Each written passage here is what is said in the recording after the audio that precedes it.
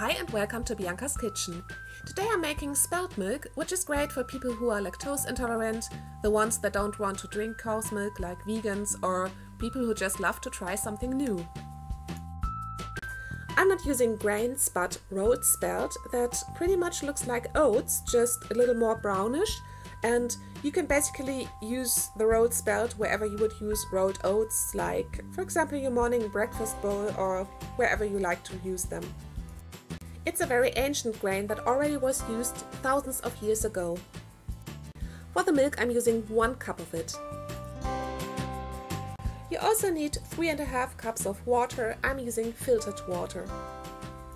You will get the best result in a high-speed blender in which you pour your water followed by the rolled spelt.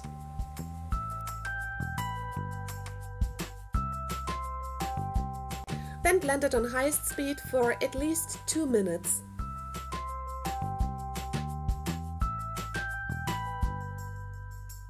Get a bowl ready with a nut milk bag or cheesecloth or whatever you have that is suitable for fine straining.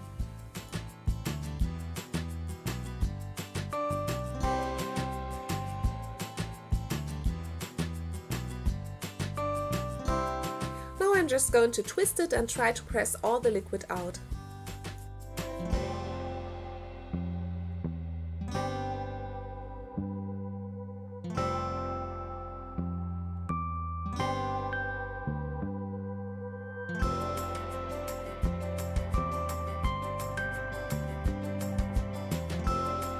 The pulp that is going to remain is something that you should not throw away as it still is food it still has nutrients and what I like to do is I put it for example in my soy yogurt, I put it um, in my smoothies or I even use it for baking or making a pancake.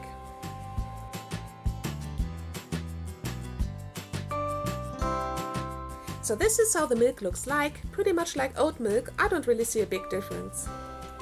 Just like oat milk, its color looks sort of similar to real cow's milk and I use it to pour it into my coffee for baking and cooking. You also could use it for making vegan cheese and yogurt.